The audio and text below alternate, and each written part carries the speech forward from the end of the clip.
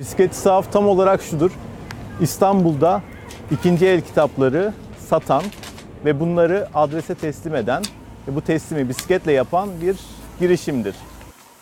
Amacımız bunun e, yani paranın e, doğaya zarar vermeden de kazanılabileceğini, hayatın idame ettirilebileceğini göstermiş ve öncelikle görmüş olduk.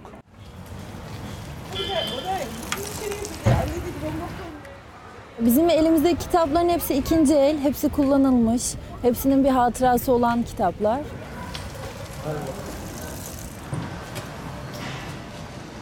Bazen içlerinden mektup çıkıyor, sinema bileti çıkıyor, e, piyango bileti çıkıyor.